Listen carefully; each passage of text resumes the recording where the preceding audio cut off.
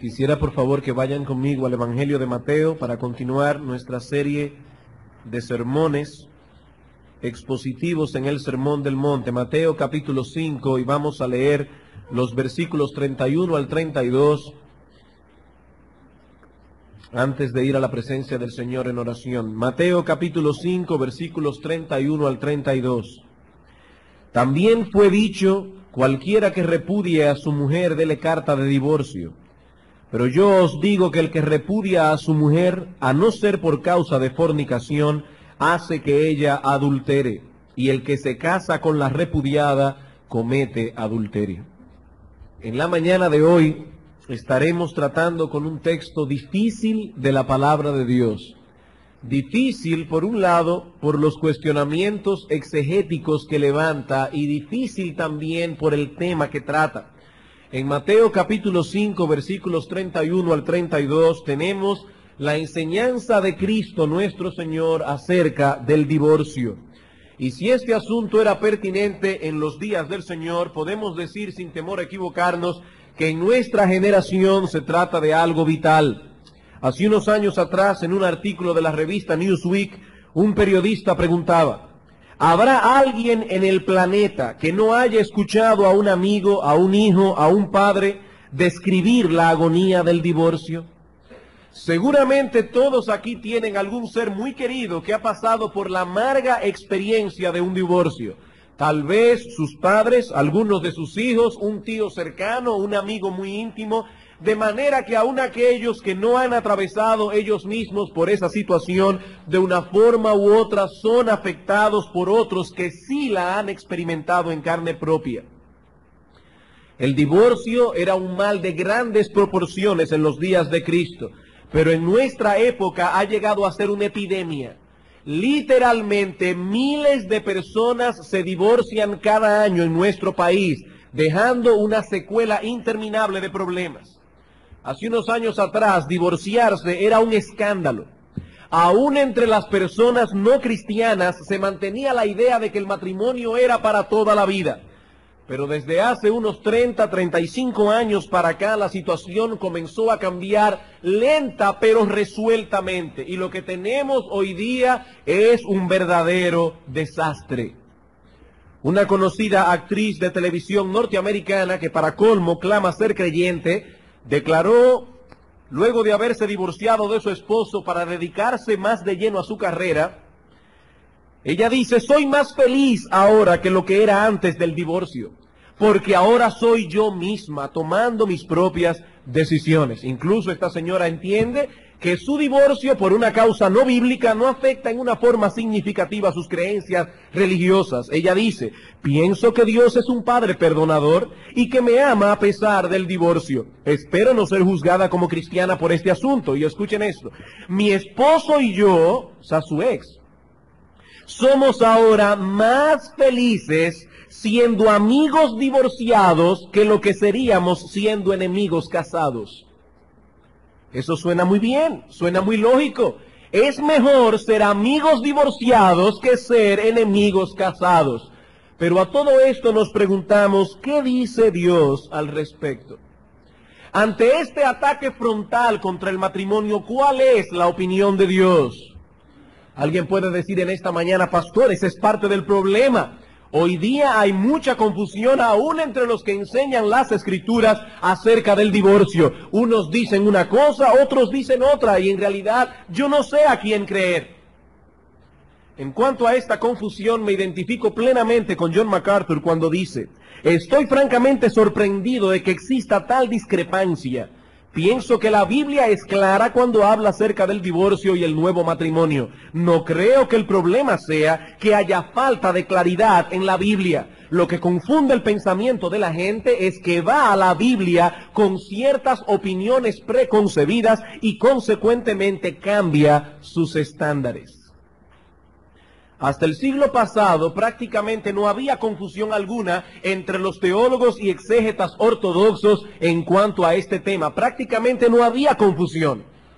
Pero a medida que el divorcio o que los divorcios fueron aumentando, sobre todo en la segunda mitad de este siglo, algunos comenzaron a reaccionar Y como casi nunca las reacciones son buenas, ahora nos encontramos en el medio de dos posiciones extremas, dos posiciones que deben ser rechazadas.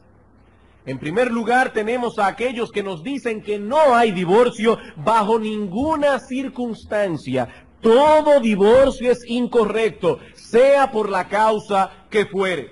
De modo que si alguno llega al conocimiento de Cristo ya divorciado y no tiene la posibilidad de arreglarse con su ex, con su cónyuge anterior, debido a que éste ya se casó con otra, esa persona debe quedarse como está para el resto de su vida o hasta que su cónyuge anterior muera.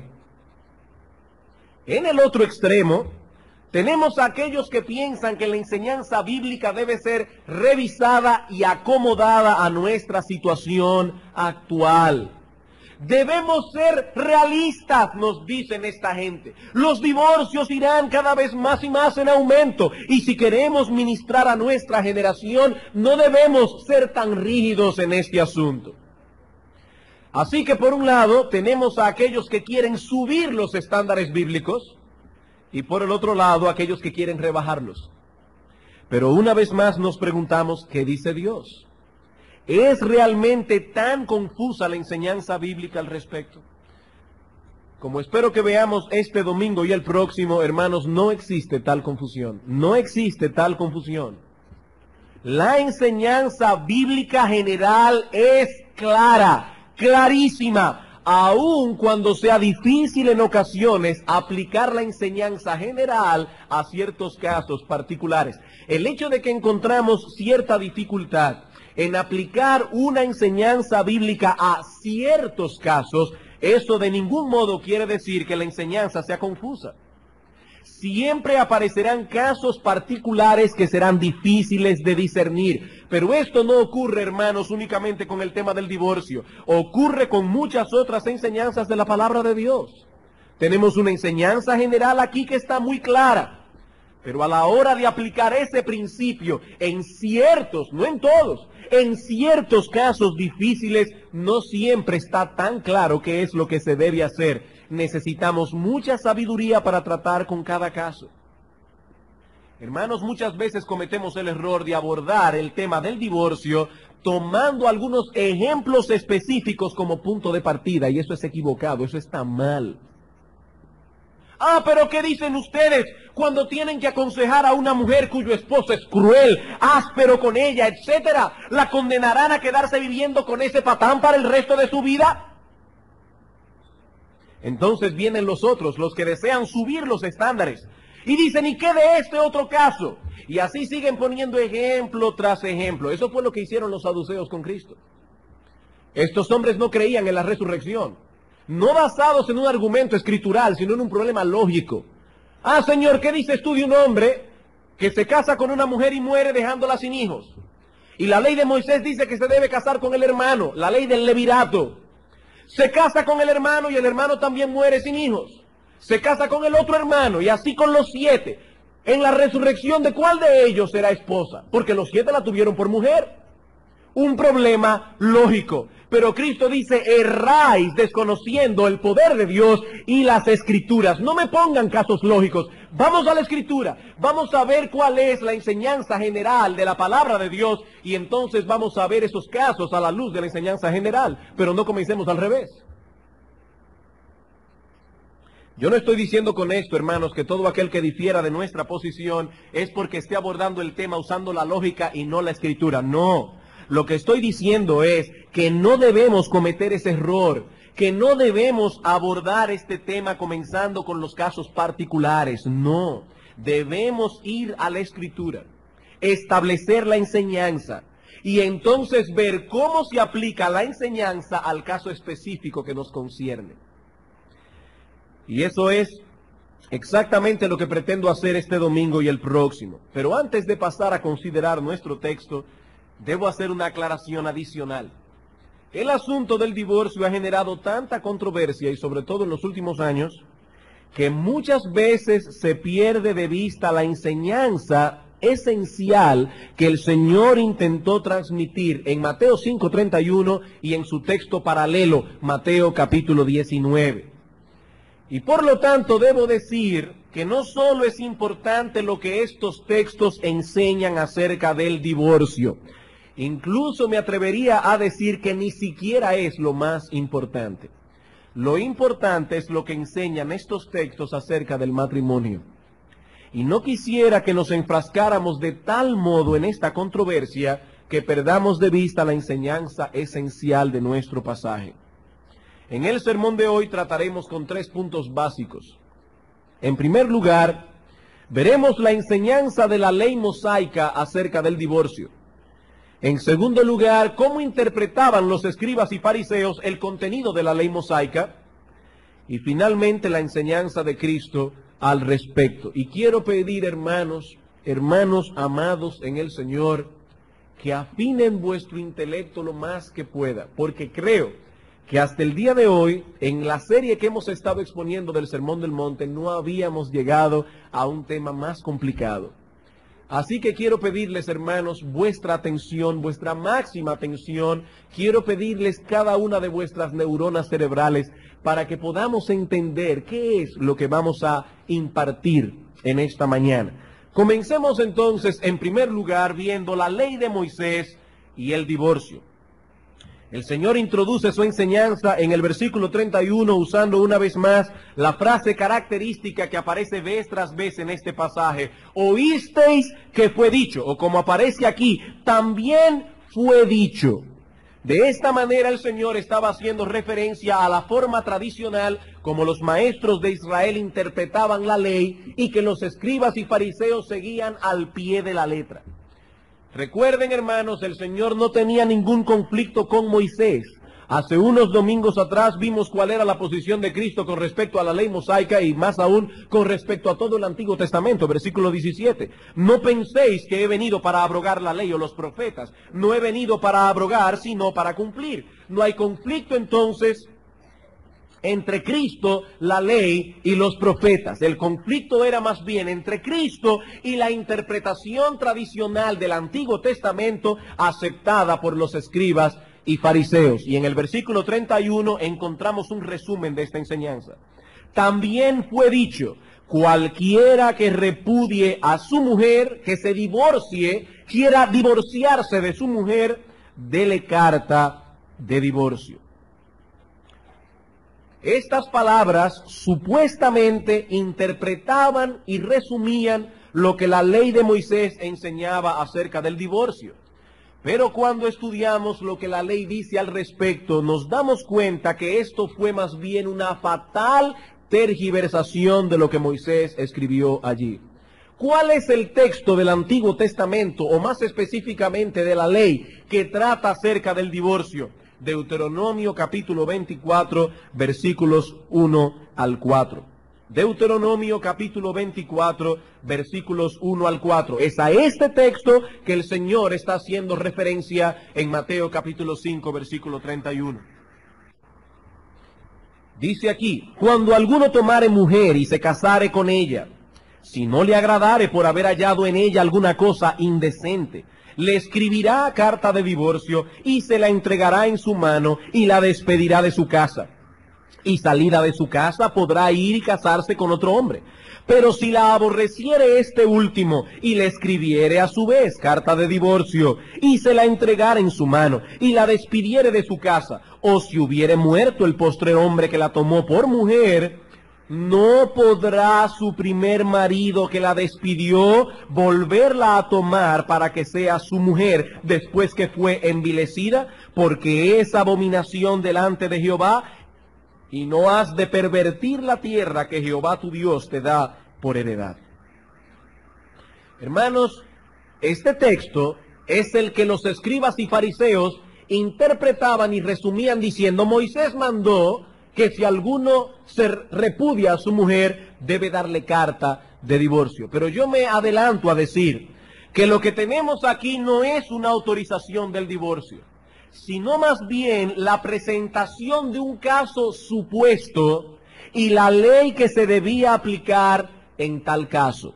Es una proposición condicional en el que se establecen ciertas consecuencias en caso de darse tales condiciones. Y para comprender el significado de este texto es necesario hacer algunas aclaraciones gramaticales, netamente gramaticales. En este tipo de proposiciones, donde hay una condición y las consecuencias que vendrían en caso de darse tal condición, a la primera parte gramaticalmente se le llama prótosis y a la segunda parte se le llama apódosis. Por ejemplo, supongamos que yo digo a un niño, si te portas bien, te llevo a comer helado. En ese caso, la prótosis sería si te portas bien. Esa es la condición que se ha puesto. Y la apódosis sería te llevo a comer helado. Hay una condición y una consecuencia en caso de que se diera tal condición. Bien, en Mateo 24, versículos 1 al 4, también tenemos una prótosis y una apódosis, pero tristemente la traducción Reina Valera da la impresión de que el versículo 1 es una frase completa que se basta a sí misma. Que ese versículo solo contiene la prótosis y la apódosis. Vean conmigo. Cuando alguno tomare mujer y se casare con ella, si no le agradare por haber hallado en ella alguna cosa indecente, ahí está la condición, le escribirá carta de divorcio, ahí está la consecuencia. ¿Ven la, la idea? De acuerdo a esa traducción, la prótosis y la apódosis se encuentran ambas en el versículo 1. De ser así, ¿cuál sería la enseñanza del texto? Que todo aquel que se divorcia de su mujer debe darle carta de divorcio. Pero cuando examinamos el texto completo más detenidamente nos damos cuenta que la idea esencial es otra muy distinta. En realidad, los versículos 1 al 3 forman la condición, forman la prótosis, mientras que el versículo 4 establece cuál sería la consecuencia que vendría en caso de darse la condición establecida en los versículos 1 al 3. Y con respecto a esto, quiero citar aquí el comentario del Antiguo Testamento de Kiel y de Leach, y lo cito a ellos por ser un comentario ampliamente reconocido como uno de los mejores, si no el mejor que existe del Antiguo Testamento. Dicen ellos, estos cuatro versículos constituyen un todo del cual los versículos 1 al 3 forman la prótosis y son consagrados totalmente a describir el caso en cuestión. El versículo 4 contiene la apódosis que proclama la ley en relación con el punto tratado.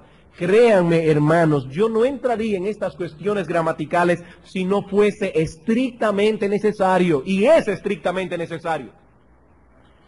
¿Cómo debemos entonces leer este texto? Voy a citar la Biblia de las Américas, porque es una traducción literal y precisa de lo que el texto enseña. Cito, cuando alguno toma una mujer y se casa con ella, si sucede que no le es agradable porque ha encontrado algo reprochable en ella, le escribe certificado de divorcio, lo pone en su mano y la despide de su casa. Fíjense que no es una orden está describiendo un caso. Dice, si pasa todo eso, que le escribe certificado de divorcio, lo pone en su mano y la despide de su casa. Y ella sale de su casa y llega a ser mujer de otro hombre. Si el segundo marido la aborrece y le escribe certificado de divorcio, lo pone en su mano y la despide de su casa. O si muere este último marido que la tomó para ser su mujer, todo esto va junto. Ahora viene la ley al primer marido que la despidió, no le es permitido tomarla nuevamente como mujer porque ha sido menospreciada, pues eso es abominación ante el Señor. ¿Pueden ver la diferencia? ¿Pueden ver la diferencia? Los versículos 1 al 3 presentan el caso, un caso supuesto, mientras que el versículo 4 presenta la conclusión del caso. Los primeros tres versículos suponen una situación que podría darse, mientras que en el versículo 4 encontramos cuál es la ley que se ha de aplicar en caso de darse tal condición. Por eso insisto, hermanos, Moisés no está instituyendo el divorcio aquí, ni mucho menos promoviéndolo. Noten que no hay ninguna nota editorial de Moisés. Él no nos dice si el asunto está bien o está mal. No nos dice si el hombre está haciendo lo correcto o está pecando contra Dios. Simplemente plantea un caso. El divorcio era ya una costumbre muy generalizada entre los israelitas en ese tiempo. No debemos olvidar, hermanos, que este pueblo, cuando Moisés está hablando aquí, apenas acababa de salir de Egipto, donde fue esclavizado por más de 400 años.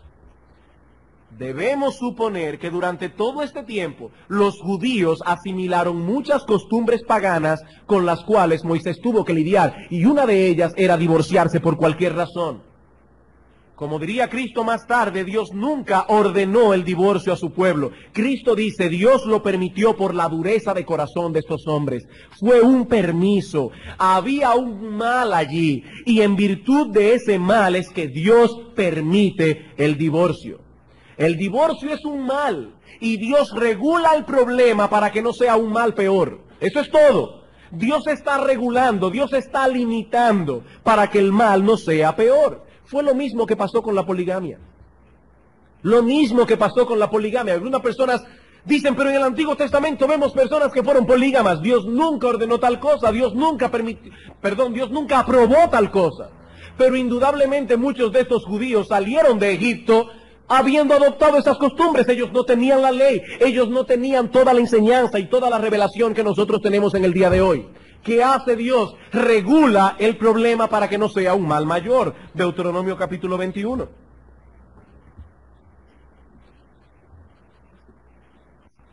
Aquí tenemos el mismo caso, versículo 15. Si un hombre tuviere dos mujeres, ah, está permitiendo Dios aquí, está aprobando Dios aquí, está ordenando Dios aquí que un hombre tome dos mujeres. No, él está diciendo, si se da el caso si un hombre tuviere dos mujeres, la una amada y la otra aborrecida, y la amada y la aborrecida le hubieran dado hijos, y el hijo primogénito fuere de la aborrecida, en el día que hiciere heredar a sus hijos lo que tuviere, no podrá dar el derecho de la primogenitura al hijo de la amada con preferencia al hijo de la aborrecida, que es el primogénito. Dios no podía pasar por alto una situación que ya estaba dada en su pueblo. Dios tenía que legislar. Dios tenía que hablar acerca del asunto, pero Dios no está instituyendo la poligamia aquí. Sabemos muy bien que Dios desde el principio habló de monogamia, desde Génesis hasta Apocalipsis. Lo que la ley de Moisés establece en Deuteronomio 24 es que si una persona, siguiendo la costumbre de la época, se divorciaba de su mujer por haber hallado en ella alguna cosa indecente. Y esta mujer, ahora divorciada, se casaba con otro hombre, ya no podría el primero que la tomó volver a casarse con ella si el segundo marido se divorciaba, incluso si moría. Una vez más cito aquí el comentario de Kill y Delish. En estos versículos no se establece el derecho al divorcio, no. Solo se afirma la prohibición de una nueva unión con la mujer repudiada cuando ésta se hubiere vuelto a casar después del divorcio, incluso si el segundo marido la ha repudiado a su vez o hubiese fallecido. Eso es todo lo que el texto está enseñando. Ahora bien, alguien preguntará, pastor, ¿Y a qué se refiere la cosa indecente de la que habla el texto? Bueno, en primer lugar voy a decir a qué no se refiere. Esta frase no puede referirse a la infidelidad conyugal.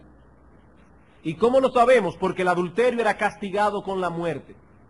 De manera que si uno de los cónyuges caía en adulterio, ese adulterio ponía punto final al matrimonio, pero no por divorcio, sino por apedreamiento mataban al culpable y la persona quedaba libre de casarse con quien quería. Noten desde ahora, porque lo veremos más ampliamente el domingo que viene, el adulterio ponía fin al matrimonio en el Antiguo Testamento. Y vamos a ver cómo Cristo corrobora perfectamente lo que el Antiguo Testamento enseñaba al respecto. ¿Qué significa esa frase entonces? Literalmente se traduce la desnudez de una cosa. La desnudez de una cosa. Esta frase aparece una vez más en el Antiguo Testamento y precisamente en unos versículos antes, Deuteronomio capítulo 23, versículo 12. Tendrás un lugar fuera del campamento a donde salgas. Tendrás también entre tus armas una estaca y cuando estuvieres allí fuera, acabarás con ella, y luego al volverte cubrirás tu excremento. Porque Jehová tu Dios anda en medio de tu campamento para librarte y para entregar a tus enemigos delante de ti. Por tanto, tu campamento ha de ser santo, para que Él no vea en ti cosa inmunda, aquí está la palabra, y se vuelva en pos de ti. Aquí se está hablando de la desnudez del excremento. Dice, cubre el excremento para que no haya en tu campamento ninguna cosa inmunda. La misma fraseología que aparece en el texto hebreo en Deuteronomio 23 es la que aparece en Deuteronomio 24. Adicionalmente debemos señalar que la palabra hebrea que aquí se traduce indecente o en otros lugares reprochable o vergonzosa aparece en otros contextos, y no voy a citar aquí todos los textos, pero relacionado con una exhibición vergonzosa del cuerpo. Una exhibición vergonzosa del cuerpo, falta de pudor, falta de modestia. ¿Qué es entonces lo que el texto está enseñando? Bueno, es probable, y subrayo la palabra probable, es probable que por la severidad impuesta sobre el adulterio, la pena capital, algunas mujeres se comportaban de una manera indecorosa frente a otros hombres, de una manera coqueta, pero sin llegar al adulterio mismo, sin llegar a la infidelidad.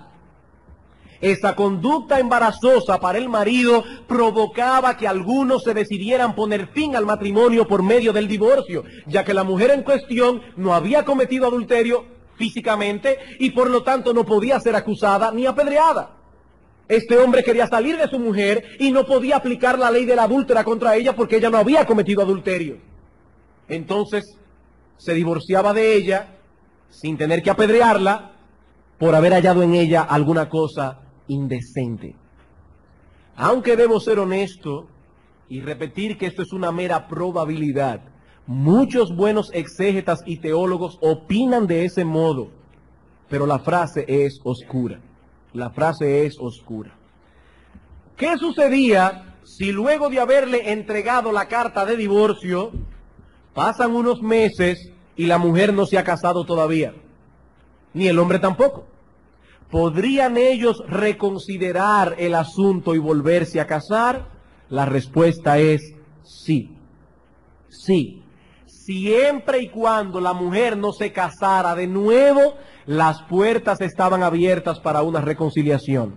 Pero si se casaba de nuevo, ya no habría oportunidad de ningún modo, aún su segundo esposo muriera. Noten, hermanos, lo que la ley hizo fue restringir el divorcio. El divorcio ya existía. El mal ya estaba presente allí. Lo que hace la ley es restringirlo. Dios toleró esta práctica por la dureza del corazón de ellos, dice el Señor, pero estableció esta ley para hacerles ver la seriedad que conllevaba tomar esta decisión. Es como si Dios estuviese diciendo, piénsenlo bien, divorciarse no es un juego, no puedes dejar a tu mujer irte por ahí, que ella se case con otro y entonces tomarla de nuevo como esposa. Eso no se puede. Esa es la enseñanza básica de la ley con respecto al divorcio. Hermanos, Dios nunca instituyó el divorcio en el Antiguo Testamento. Malaquías. Malaquías capítulo 2,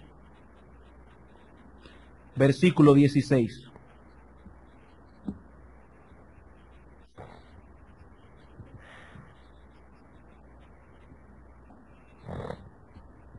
Porque Jehová Dios de Israel ha dicho, que Él aborrece el repudio, el divorcio, y al que cubre de iniquidad su vestido, dijo Jehová de los ejércitos, guardaos pues en vuestro espíritu y no seáis desleales.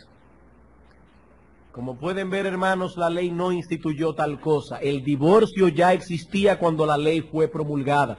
Dios lo toleró por la situación imperante en Israel y por la dureza del corazón del pueblo. Lo que hace Deuteronomio 24 es establecer ciertos límites con el propósito de limitar el uso del divorcio e impedir que se abuse de él. Bien, habiendo considerado la enseñanza de la ley, Veamos ahora en Mateo 5 la enseñanza de los escribas y fariseos acerca de lo que la ley enseñaba. ¿Cómo interpretaban los escribas y fariseos Deuteronomio 24? Bueno, una vez más, el problema de estos hombres es que se aferraban a la letra de la ley y perdían de vista el espíritu que está detrás de la letra de la ley. Los escribas y fariseos interpretaron erróneamente la ley de Moisés básicamente en dos aspectos. Los escribas interpretaron la ley de Moisés erróneamente básicamente en dos aspectos.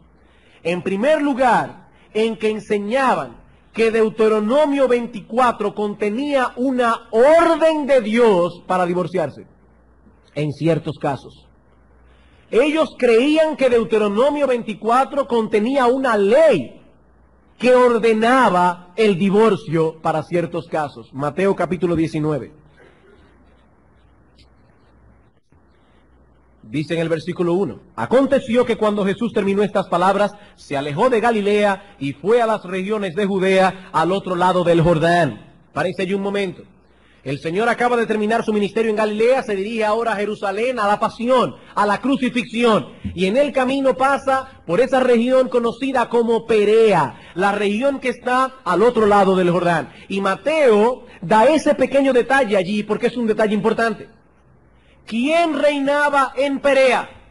En Perea reinaba Herodes. ¿Y quién era Herodes? Aquel perverso que le quitó la mujer a Felipe su hermano, Herodías. Y dice aquí que estando Cristo en ese lugar, le siguieron grandes multitudes y lo sanó allí. Entonces vinieron a él los fariseos tentándole y diciéndole, ¿es lícito al hombre divorciarse de su mujer por cualquier causa?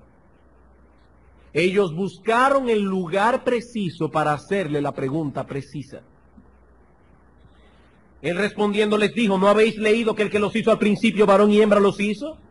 Y dijo, por esto el hombre dejará padre y madre y se unirá a su mujer y los dos serán una sola carne, así que no, así que no son ya más dos, sino una sola carne. Por tanto, lo que Dios juntó, que no lo separe el hombre. Le dijeron, ¿por qué pues mandó Moisés dar carta de divorcio y repudiarla? Él les dijo, por la dureza de vuestro corazón, Moisés os permitió repudiar a vuestras mujeres, mas al principio no fue así. En otras palabras, ese no fue el diseño original de Dios.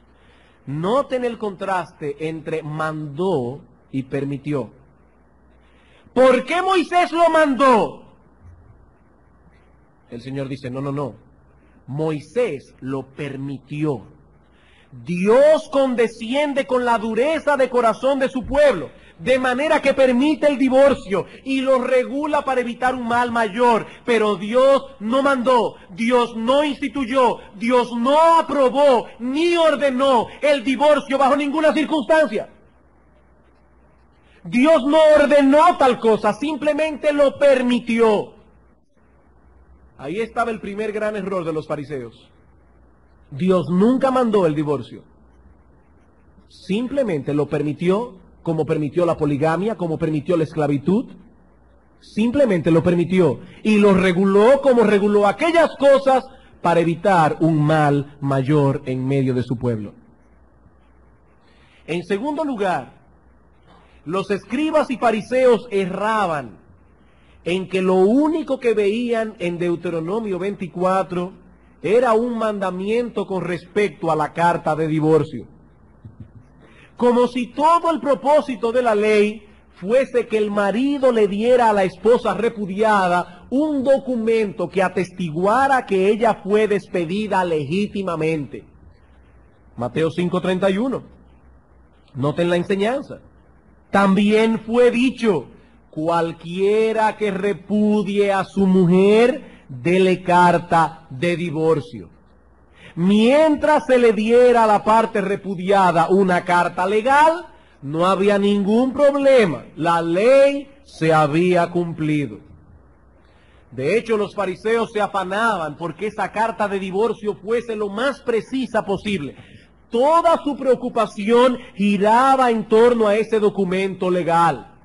La causa del divorcio no era tan importante. Lo que importaba era la carta. ¿Y cuáles eran las razones por las que un hombre judío podía divorciarse de su mujer? Bueno, aquí las opiniones estaban muy divididas en el pueblo de Israel. Un grupo decía que únicamente el adulterio, la escuela de Shammai, que esa era la cosa indecente de la que habla Moisés en Deuteronomio 24. Pero ya vimos que eso no puede ser. El adulterio era penado con la muerte. Por lo tanto, la escuela de Shammai no tenía la razón. Otros llegaban a decir que la cosa indecente que aparece en Deuteronomio 24 se refería a cualquier cosa, cualquier cosa que la mujer hiciera que fuera desagradable a los ojos del marido. Por ejemplo, esa era la escuela de Gilei y de otro, de Gilel y otro rabino llamado Akiva. Por ejemplo, si una mujer quemaba el pan, eso era vergonzoso. ¿Cómo es posible que una mujer dejara quemar el pan en el horno? Y por lo tanto, esa era una razón válida para divorciarse. O si un hombre conocía a otra mujer que era a sus ojos más atractiva que la suya, ya su propia esposa venía a ser una vergüenza delante de él. Esa era una cosa vergonzosa y por lo tanto era una razón para divorciarse.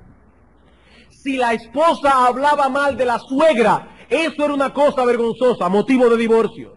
Si la mujer peleaba con el marido y usaba una voz tan alta que se oía en la casa del vecino, eso era una cosa vergonzosa, motivo de divorcio. Y el historiador Flavio Josefo incluye el mal aliento como parte de esas cosas indecentes. Todo eso, de acuerdo a estos rabinos, era motivo de divorcio. Como pueden ver, en realidad ya el asunto no era tan importante como el hecho de que el hombre le expidiera una carta legal a la mujer repudiada. Eso sí era importante. La causa, ya eso podemos discutirlo después. El punto es que el que repudia a su mujer debe darle carta de divorcio. Siempre y cuando se llevara a cabo ese proceso, no había nada de qué preocuparse en cuanto a la ley de Dios. Así que mientras Moisés restringió el divorcio, los fariseos más bien lo promovían. En medio de todo este panorama, ¿cuál fue la opinión de nuestro Señor Jesucristo? Esto nos lleva a nuestro tercer punto, la enseñanza de Cristo acerca del divorcio. Mateo capítulo 5, versículo 32. Pero yo os digo, aquí viene el contraste, esto es lo que ustedes han oído. Ahora escúchenme bien, yo soy el Dios encarnado. Yo soy el dador de la ley. Yo fui quien promulgué la ley en el Sinaí. Solo yo sé cómo se interpreta. Y escuchen bien ahora. Pero yo os digo, dice Cristo, que el que repudia a su mujer, a no ser por causa de fornicación, hace que ella adultere. Y el que se casa con la repudiada, comete adulterio. Mateo capítulo 19 otra vez. El texto paralelo, 19.9.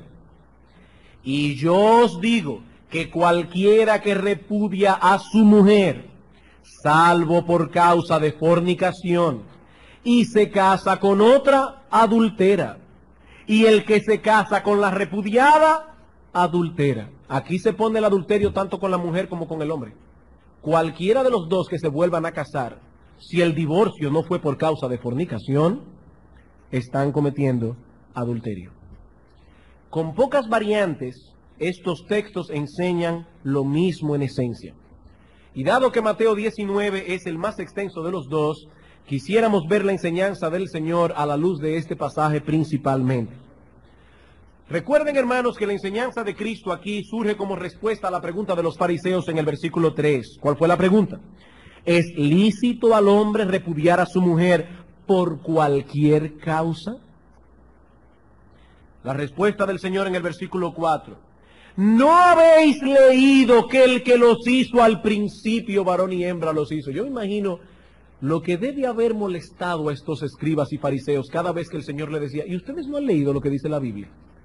Estos hombres se ufanaban de conocer la Biblia de cabo a rabo, desde la letra inicial hasta la letra final. Y Cristo dice, pero ¿cómo ustedes me hacen una pregunta tan evidente? ¿Ven, hermanos, que la enseñanza de la Biblia no es tan confusa como enseñan algunos en el día de hoy? No, no es tan confusa. Cristo dice, eso está claro. Eso está claro. El Señor lleva a estos hombres al origen de la institución matrimonial. Si vemos el matrimonio a la luz de su institución original, podremos arribar a una visión más apropiada acerca del matrimonio y consecuentemente acerca del divorcio. Lo primero que el Señor recalca aquí es que el matrimonio es una institución divina. Dice, ¿no habéis leído que el que los hizo, ¿quién los hizo? Dios los hizo. Y los hizo varón y hembra. Por tanto, ya no son más dos, Dios los juntó. El matrimonio es una institución divina. Solo Dios tiene derecho a establecer las reglas que han de regir el matrimonio, ya que Él posee los derechos de autor. Él creó el matrimonio. Él y solo Él sabe cómo funciona. Él y solo Él tiene derecho a legislar al respecto. En segundo lugar, este texto nos enseña que el matrimonio es básicamente la unión de un hombre y de una mujer para hacer una sola carne. Dijo, versículo 5, por esto el hombre dejará a padre y madre y se unirá a su mujer y los dos serán una sola carne. Y la palabra hebrea que se usa en el texto original, así como la palabra griega que se usa en el Nuevo Testamento, incluye aquí o define una unidad sumamente poderosa, sumamente poderosa. Cuando usted toma una madera y la pega con ese pegamento que se usa para la madera, bien pegada, y usted trata luego de que ya está bien pegada, trata de separarla, ¿qué va a pasar? Que nunca volverá a separarse por la juntura.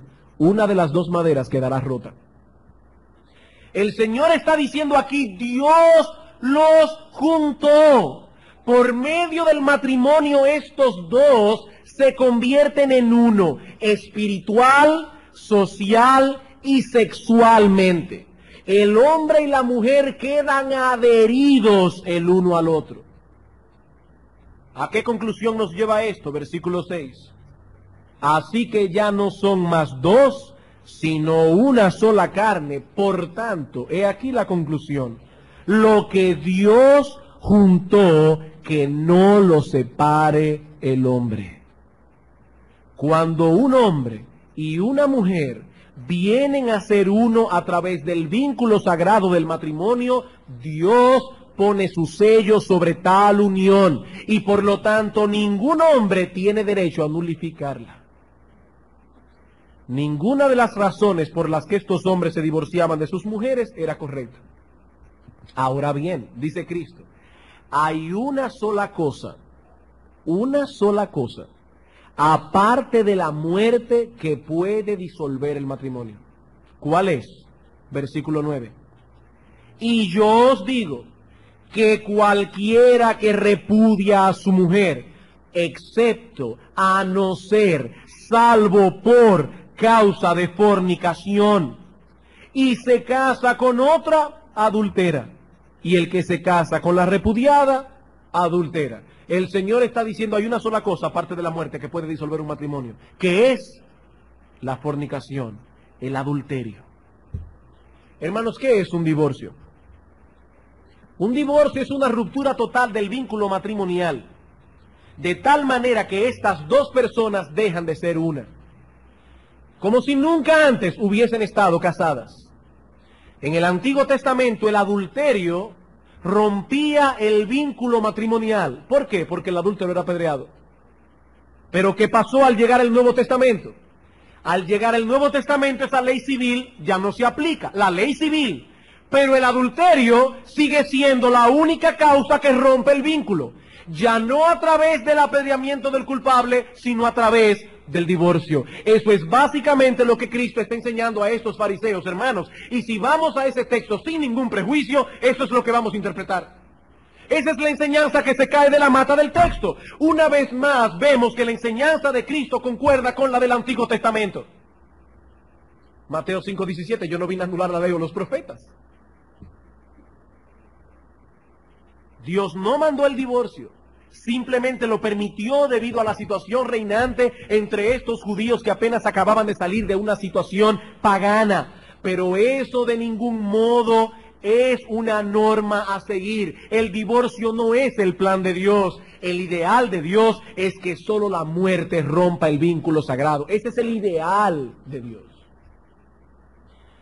Hermanos, el hecho de que Cristo haya pronunciado una cláusula de excepción aquí, el hecho de que Cristo haya dado una excepción, eso no elimina la enseñanza esencial de nuestro texto.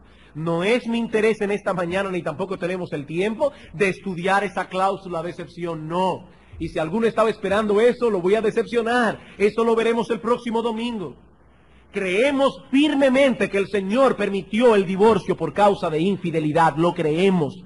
Así como el Antiguo Testamento rompía el vínculo por la muerte del culpable, así también en el Nuevo Testamento se da permiso al cónyuge inocente, no a matar al culpable, pero sí a divorciarse de él. Se le da permiso. Pero hermanos, eso no anula, eso no anula lo que Cristo está diciendo aquí con respecto a la indisolubilidad del matrimonio. ¿Qué es un matrimonio?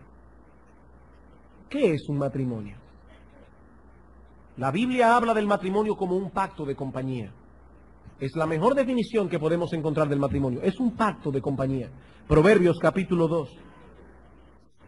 Proverbios capítulo 2, versículos 16 al 17. Aquí tenemos a un padre advirtiendo a su hijo contra las mujeres ligeras.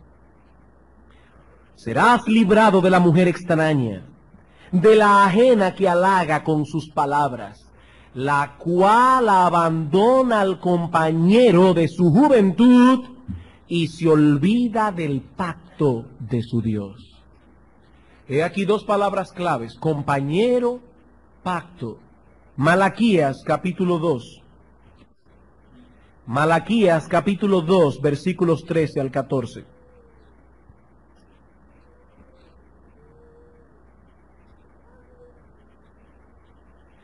Y esta otra vez haréis cubrir el altar de Jehová de lágrimas, de llanto y de clamor, así que no miraré más a la ofrenda para aceptarla con gusto de vuestra mano. Mas diréis, ¿por qué? Porque Jehová ha atestiguado entre ti y la mujer de tu juventud, contra la cual has sido desleal, siendo ella tu compañera y la mujer de tu pacto. Una vez más, dos palabras aquí, compañía, compañero, compañera, pacto. Son las dos palabras claves que definen un matrimonio.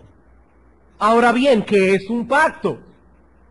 Un pacto es una promesa a la que se ha interpuesto un juramento.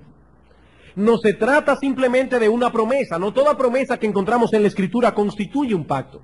Se trata de una promesa legalmente asegurada por un juramento. No tenemos tiempo, pero puedo, luego pueden buscar Hebreos capítulo 6, versículo 2 en adelante. Esto lo hemos visto antes, no voy a extenderme más en esto. Pueden verlos, buscar las cintas las grabaciones de la clase que se dio de los pactos en la escuela dominical hace unos meses atrás. Es una promesa a la que se ha interpuesto un juramento. Ahora bien, ¿cuál es la promesa esencial del matrimonio? ¿Cuál es la promesa de ese pacto? Bueno, como ya vimos, el matrimonio es un pacto de compañía. Cada uno de los cónyuges se está comprometiendo está interponiendo un juramento, un voto legal a su promesa de suplir las necesidades de compañía del otro cónyuge. Eso es un matrimonio. ¿Por qué Dios creó el matrimonio? Porque no era bueno que el hombre estuviese solo. El hombre fue creado con necesidades sociales, emocionales, intelectuales, sexuales. Y Dios crea el matrimonio para suplir tales necesidades. Ahora bien, en la antigüedad los pactos eran ratificados partiendo un animal en dos mitades y pasando por en medio de ellos. No tenemos tiempo para buscar Génesis 15, 8 al 18, pero lo pueden anotar allí. Allí vemos a Abraham, Dios haciendo un pacto con Abraham. Y Dios le dice a Abraham, debe partir unas aves en dos pedazos. Y lo que hace Dios es pasar como una antorcha de fuego encendida por en medio de las dos mitades. Y de esa manera el pacto quedaba ratificado. ¿Y qué significaba ese rito? Ese rito aparentemente era una especie de juramento autocondenatorio. Escuchen bien, esto es importante. Como si las partes envueltas en el pacto estuviesen invocando sobre ellos mismos una especie de maldición en caso de que violasen el pacto. Pongan atención a esto. Cuando estas personas pasaban por en medio de los animales partidos, ellos estaban invocando un juicio autocondenatorio. Es como si estuviesen diciendo, así sea yo partido en dos mitades, si violo lo estipulado en este pacto. Jeremías capítulo 34. Y ese texto sí quiero que lo busquen, aunque el tiempo está avanzando. Jeremías capítulo 34. Versículo 18.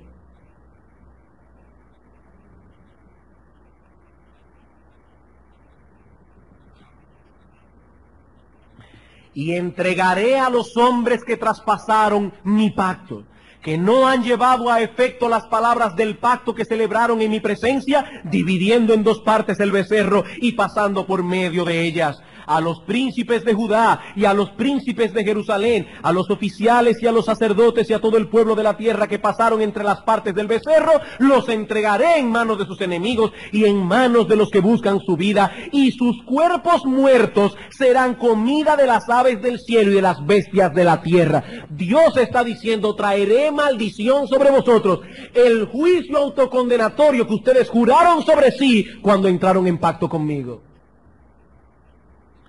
Hermanos, amigos, el matrimonio no es un juego, el matrimonio es un pacto. El matrimonio es un pacto, algo que encierra una gran solemnidad. Violar las estipulaciones de ese convenio es asegurarse una vida desgraciada. Desgraciada. Mientras los fariseos estaban preocupados por establecer su enseñanza sobre la carta de repudio, el Señor estaba preocupado por el matrimonio, por resaltar la enorme importancia de esta institución divina. Hermanos, difícilmente nuestra generación podrá recobrarse ya de los estragos que ha causado y seguirá causando la ligereza con que se ha venido tratando el matrimonio en la segunda mitad de este siglo que ya casi termina. Solo en el año 1983, hace 10 años, en los Estados Unidos de Norteamérica se efectuaron más de un millón de divorcios. Hace 10 años yo me pregunto cuántos divorcios se habrán efectuado en esta última década completa.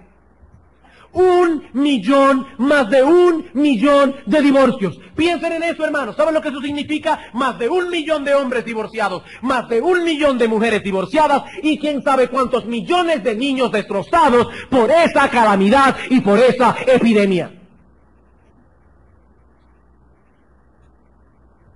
¿Cuánto habrá aumentado esa cifra a lo largo de esta última década? Es una verdadera epidemia y cada vez más los medios de comunicación nos quieren hacer ver que eso es perfectamente normal.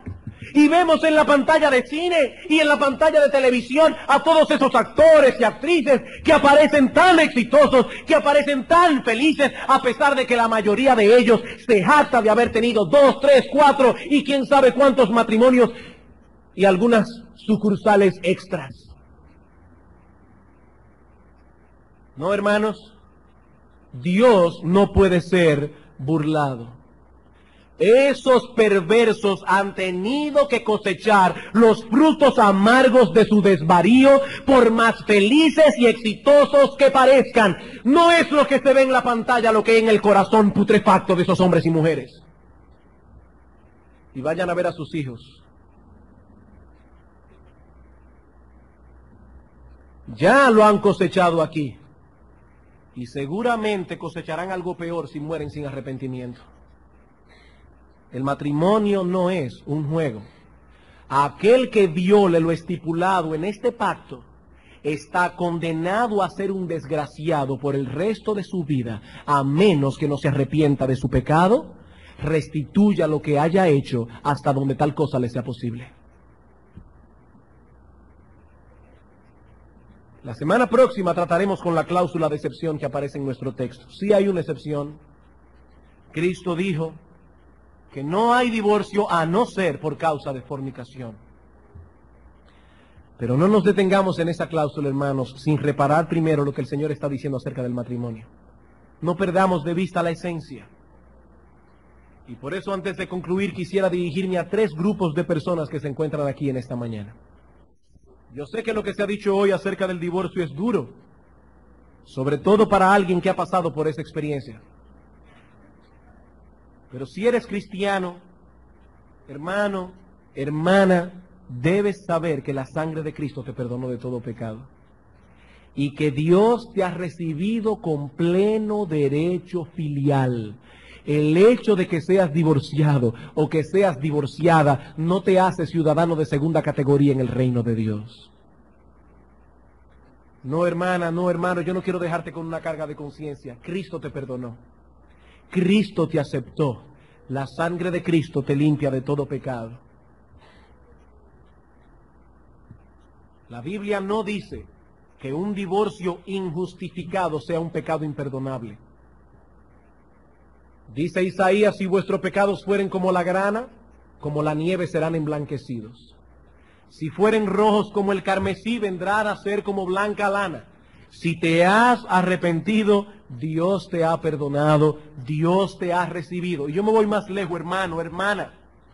Aunque el divorcio tiene consecuencias que perduran, Aún así debes saber que Dios ha prometido ser el sostén de sus hijos, aún de aquellos que han venido a Él habiendo ya pasado por esa terrible experiencia. Dios es tu Dios. Y dice el salmista en el Salmo 23, Jehová es mi pastor, nada me faltará.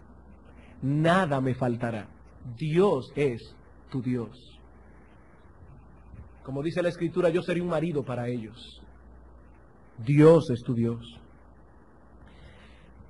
Y si se encuentra aquí algún divorciado que no es creyente, debe saber que en Cristo hay perdón para todo aquel que cree. Cristo vino a buscar y a salvar lo que se había perdido. El matrimonio no es lo único que el hombre ha dañado en su pecado, pero Cristo vino a redimir al hombre de todas las consecuencias que han emanado de nuestra condición caída. Divorciarse injustificadamente no es el único pecado que un hombre puede cometer. Pero en Cristo hay, Jesús hay perdón para todo pecado. Para todo pecado. Así que si estás aquí en esta mañana y no eres divorciado, no te sientas justo por eso. Ese no es el único pecado que un hombre puede cometer. Ni siquiera es el más grave. Quiero también dirigir algunas palabras a los que están casados. A los que están casados. Hermanos, el divorcio no es el único mal que afecta al matrimonio.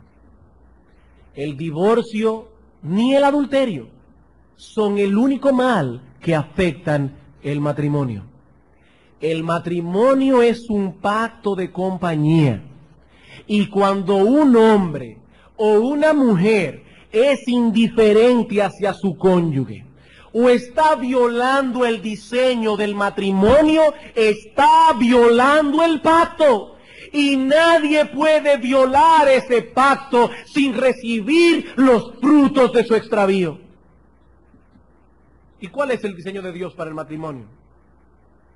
El marido amando y dirigiendo a su esposa como Cristo amó, dirigió, se entregó por su iglesia la esposa sometiéndose a la dirección de su marido, siendo su ayuda idónea, teniendo un espíritu afable y apacible, Hermanos, cuando ese patrón es violado, se está violando el pacto. Y cuando el pacto es violado, lo que viene es maldición, ira de Dios, castigo, desgracia. Nadie podrá ser feliz si viola lo estipulado en el pacto de compañía que hizo cuando se casó. Nadie podrá ser feliz. Tu vida será una desgracia.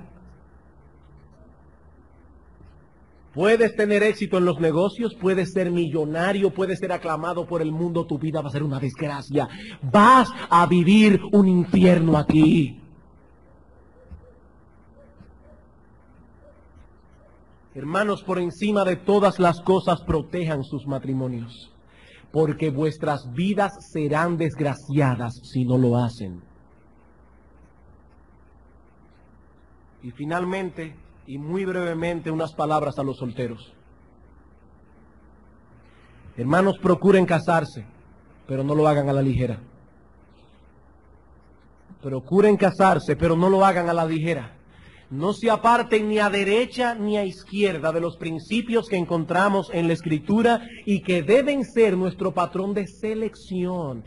Elegir lo que Dios hubiese elegido para mí. Hermanos, oren a Dios, pidan consejos, escuchen a sus padres, escuchen a sus pastores. El matrimonio no solo es para toda la vida, sino que determinará en muchos sentidos vuestra felicidad o vuestra desgracia. Procuren casarse, hermanos, pero piénsenlo bien. No lo hagan a la ligera. Esto no es un juego, es un pacto de compañía. Vamos a orar. Nos vemos compelidos en esta mañana, oh Señor a postrarnos delante de ti primariamente para pedirte perdón por nuestros pecados. Señor, tú has dado al hombre en el matrimonio uno de los regalos más excelsos, quizás el más excelso que tú puedes darle a un hombre aparte de la salvación. Pero cuán descuidados somos muchas veces, oh Señor, con eso que tú nos has regalado. Padre, perdónanos. Perdónanos y permite que estas cosas puedan clavarse en nuestro corazón. Señor, yo te ruego por los divorciados y divorciadas de nuestra iglesia. Y te pido en una forma muy especial que tu Santo Espíritu venga a ellos en esta mañana como espíritu de consolación.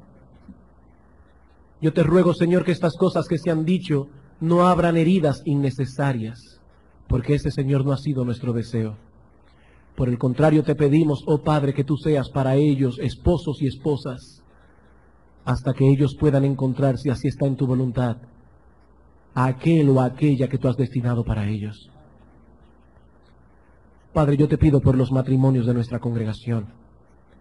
Y te suplico que los hermanos y hermanas que están aquí congregados en este lugar, que ellos puedan ver la seriedad de este asunto que se cuiden, oh Señor, de violentar lo estipulado en este pacto. Te pido por los solteros y solteras, oh Señor, que tú los ayudes a ser juiciosos a la hora de elegir, para que ellos elijan conforme a tu patrón y no al nuestro. Pero finalmente, Padre, yo te pido por todas las personas que están aquí en esta mañana sin Cristo, divorciados, casados, solteros.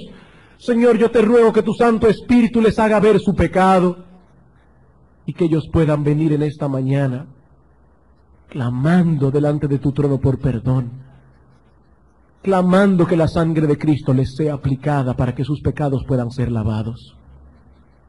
Padre, gracias por habernos permitido estudiar tu palabra en esta mañana. Gloria sea tu santo y bendito nombre. En Cristo Jesús. Amén.